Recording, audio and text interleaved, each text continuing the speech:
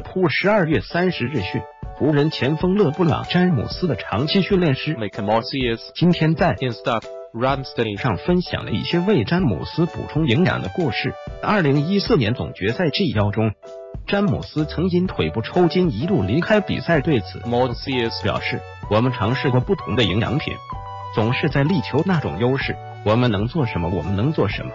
在圣安东尼奥的抽筋事件过后，我们开始与一家制药公司展开一些合作，提出不同的食谱、不同的成分。与此同时，保持整个过程是安全的，经由 NSF 美国国家卫生基金会认证的干净的。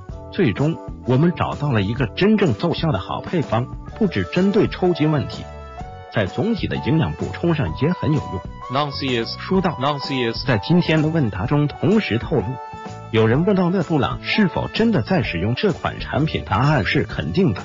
他会将一包 Ladder 能量粉冲入十到十二盎司的水中，充分摇晃搅拌，然后他将在赛前三十到四十五分钟之间服用它。最后 Nonsius 发布视频动态说，与大家的交流很有趣，不过你们也看到了，我们得回去工作了。詹姆斯此时闯入镜头，见新闻配图，并催促道：“凯，Mike 快点啊，是时候回归训练了。” Nauseous，达到听你的，听你的。詹姆斯目前正处于左腹股沟拉伤的恢复期。编辑 Oceans